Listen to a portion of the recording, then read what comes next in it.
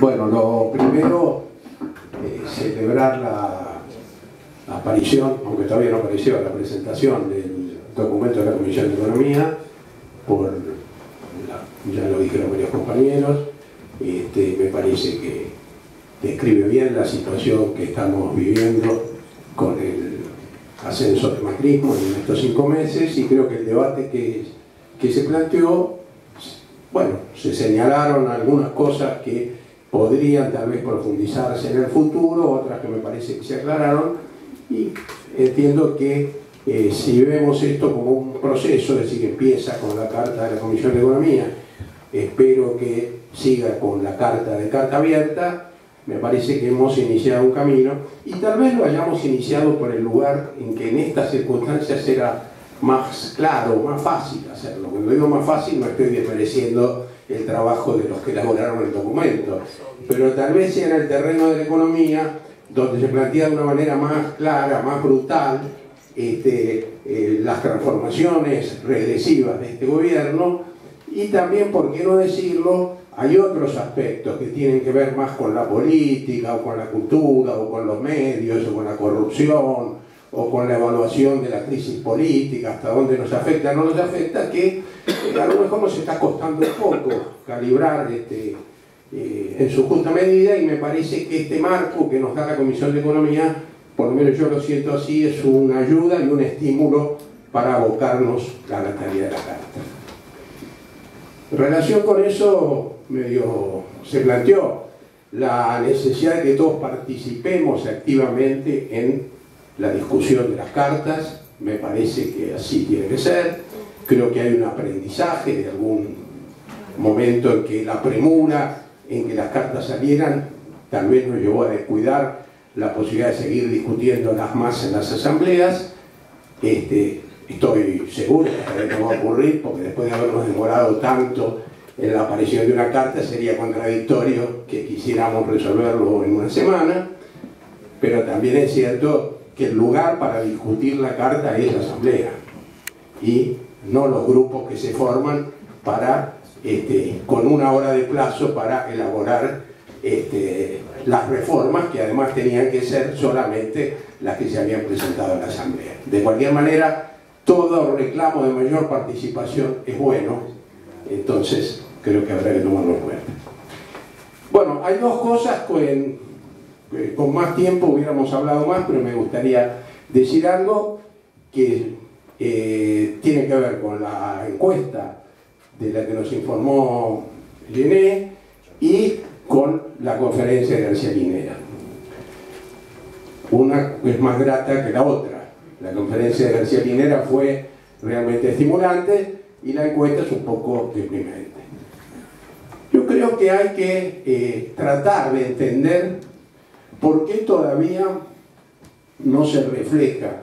en amplios sectores de la población y sobre todo en muchos que votaron al macrismo y sabemos que no son votantes tradicionales de la derecha, ¿por qué no se refleja esta, eh, las consecuencias de esta política económica y social? A mí me parece que ya hay algunas cosas que son demasiado claras. Este, es imposible que la gente no advierta cuánto lo afecta el aumento de las tarifas o este, la inflación o lo, lo bajo que son en relación con la inflación los aumentos este, que están otorgando algunas paritarias. Por otro lado, la experiencia demuestra que en general todos los gobiernos suben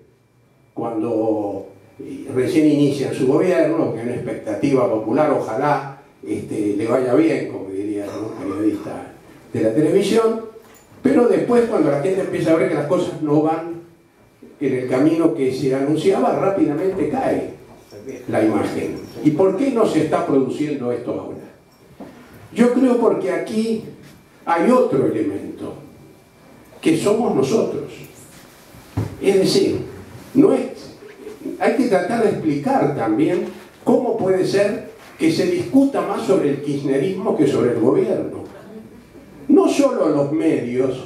este, demonizan al kirchnerismo como lo hicieron durante nuestro gobierno, sino que cada vez hay una agenda que tiene menos que ver con la agenda de la realidad que de algún modo, bueno o mala, es siempre la del gobierno, es decir, es siempre la de, las medidas que se toman y los efectos que tienen y las reacciones que provocan. Entonces, evidentemente hay muchos convencidos todavía de que nos robamos todo lo que había este, y de que eh, les dejamos una herencia muy pesada y que no quieren convencerse de que el proyecto de Macri está perjudicándolos cada vez más claramente. Porque si uno hace el trabajo, que supongo que todos hemos hecho, de discutir con muchos de estos amigos, digamos así, que encuentra, o gente que encuentra por la calle, se, se ve que hay una negativa a discutir. No hay que explicarles lo que implica el aumento de tarifas o el aumento de los precios o la caída de los salarios, ¿no? sino que inmediatamente se pasa a discutir sobre el kirchnerismo. Entonces, aquí me parece que no hay que tener tanta preocupación de que la gente no advierta la marcha regresiva, digamos así, de la política económica y social, porque eso es inevitable que más tarde o más temprano se advierta. Lo que me parece que la preocupación tiene que estar puesta en cómo salimos nosotros de esta encerrona,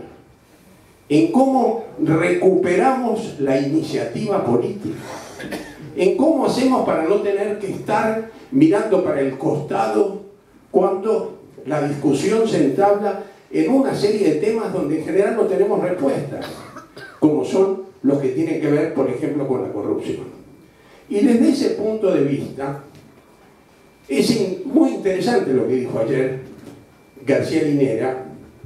y me parece que nos ayuda también en esta discusión que venimos teniendo acerca de qué es lo que hay que criticar, cómo criticar, este, si esto no implica darle armas al enemigo, porque él hizo un análisis que prácticamente planteó todas las cosas que aquí hemos dicho acerca de eh, lo que pudo no estar bien en nuestro gobierno, lo que faltó, lo que habría que corregir para cuando volvamos. Pero lo dijo con una perspectiva tan claramente de futuro que de alguna manera me parece que resolvió bien este dilema que a nosotros se nos suele plantear y se nos está planteando acerca de hasta dónde nos hacemos cargo de ciertas cosas y cómo las expresamos. Por ejemplo, García Linera hizo un rescate, pero eh, muy vehemente, de los grandes líderes de los procesos latinoamericanos, de, bueno, no los voy a mencionar, todos sabemos quiénes son, incluyendo a Néstor y a Cristina, y a Lula y Dilma en Brasil, y al mismo tiempo fue también eh, duro en cuanto a reconocer que tal vez en estos países no siempre habíamos eh, podido dar la, la imagen que tiene que dar un gobierno popular y que no podíamos seguir negándonos a discutir ciertas cuestiones que estaba planteando la derecha y que eso no implicaba negar que estos gobiernos reaccionarios son 50 veces más corruptos que cualquier kirchnerista que pueda haberse desviado por el lado de la corrupción. Pero que al mismo tiempo, y esto ya no lo dijo García Linera porque no entró en tanto nivel de detalle, nosotros tenemos que empezar a discutir qué pasa con la inversión pública, con las licitaciones, no para discutir a Lázaro Báez, que es un accidente, sino para discutir con problemas estructurales, tradicionales, que este, siempre han afectado a la política argentina. Tenemos que discutir el problema del financiamiento de la política. Porque cuando vemos lo que pasó en Brasil, nos damos cuenta hasta dónde es difícil enfrentar esta cuestión para los gobiernos populares. Y García Linera, que además habló de cosas que acá se han dicho reiteradamente, como por ejemplo que se avanzó mucho menos en la integración económica este, en, esta, en la región que la integración política, sino que hay que que ver cómo eso se refleja en la vida cotidiana de la gente, en la cultura de todos los días, en la actitud que la gente tiene en su trabajo. Aquí nosotros hemos dicho también que a veces nos parecía que había como dos sociedades, una vista del, lado de la política que parecía, y no parecía, era, mayoritariamente se movilizaba en apoyo de los gobiernos, de nuestros gobiernos, y al mismo tiempo había como si fuera otra sociedad, en algunos casos integrados por la misma gente que seguía pensando en muchos aspectos que no eran directamente políticos, pero que por supuesto tienen que ver con la política y con la concepción con la que nos movemos, de, una manera que reflejaba, por ejemplo, más el discurso de los medios que lo que eh, podríamos llamar el mensaje gubernamental. Y él decía que ahí se apreciaba hasta dónde habíamos conseguido penetrar a la sociedad. Y que entonces, además de las centrales sindicales, de, las agrupaciones políticas, este, había que ver cómo nosotros nos llegábamos, por usar una palabra que hoy motivó varias polémicas, cómo construíamos un nuevo sentido común de la sociedad. Y me parece, yo recomiendo, mañana seguramente va a en página 12 el discurso de García Linera, pero tal vez también una conferencia de prensa que dio este, al término de su discurso, me parece que es importante que lo leamos porque creo que nos puede servir para pensar mejor. Por supuesto que nadie resuelve eh, los problemas particulares de cada país, eso lo dijo muy claro él, pero para pensar un poco mejor la situación en la que tenemos, que es una situación donde por momentos nos sentimos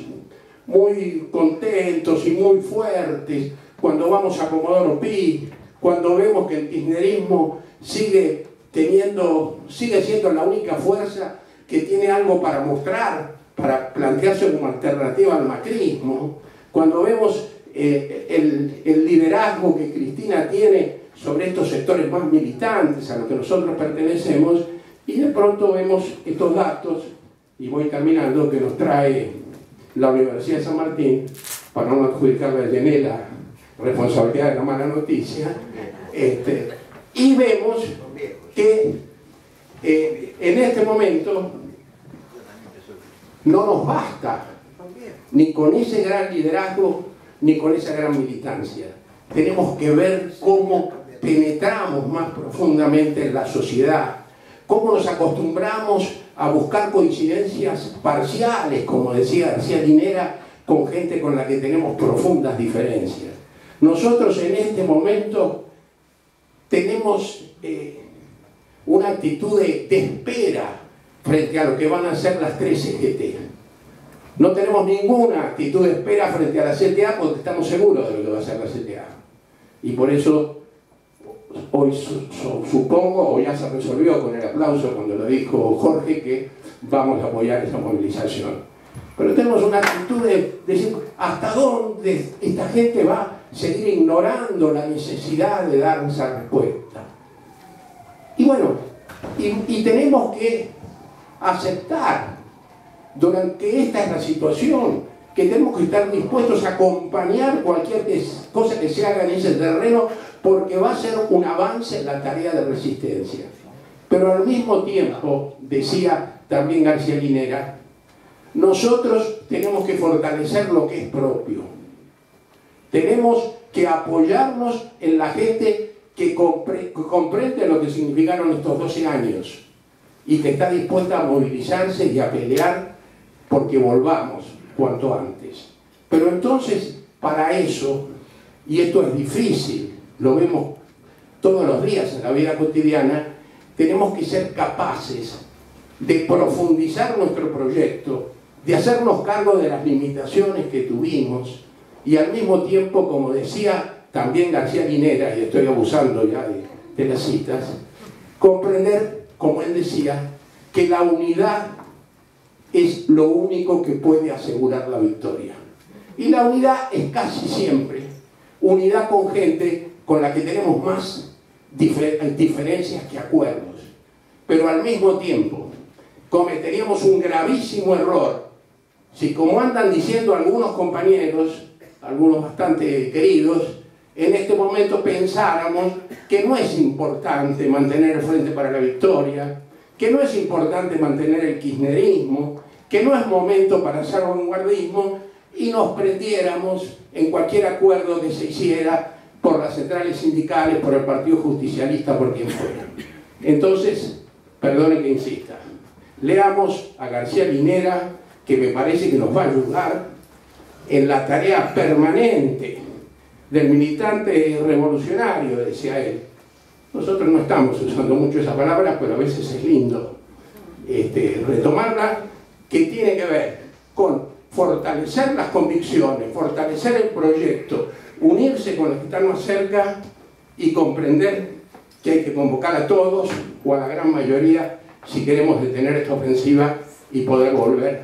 porque tenemos que volver.